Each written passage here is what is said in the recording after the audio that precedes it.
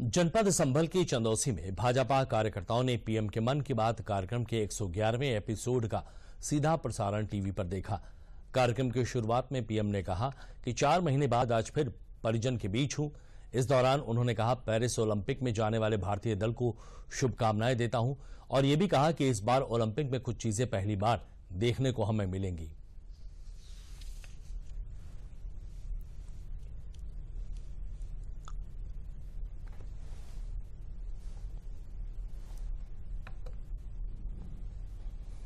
मन की बात कार्यक्रम एक ऐसा कार्यक्रम है जिसमें देश से हमारी जुड़ी हुई जो लोकल की चीज़ें हैं, माननीय मोदी जी द्वारा उन सबको आगे बढ़ाने का प्रयास किया गया। उसी के प्रयास में आज सर्वप्रथम केरल की बहनों के द्वारा जो छाते का निर्माण का वह कार्य कर रही हैं, उनका बहुत ही सुंदर कार्य करते हुए चित्रण सभी को वीडियो के द्वारा दर्शाया गया।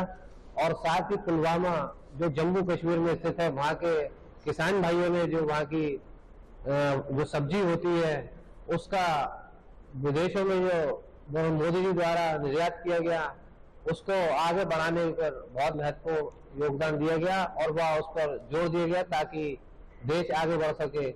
देश के प्रधानमंत्री माननीय नरेंद्र मोदी जी का ये तीसरा कार्यकाल है और गत वर्षों से प्रत्येक माह के अंतिम रविवार को मन की बात का कार्यक्रम माननीय प्रधानमंत्री जी के द्वारा किया जाता है।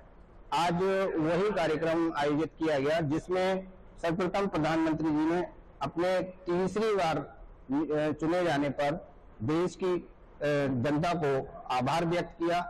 साथ ही हमारे देश में जो खिलाड़ियों ने देश का नाम रोशन किया, उनके लिए बधाई दी। और अभी हमने योग दिवस किया था, उसके विषय में भी चर्चा की।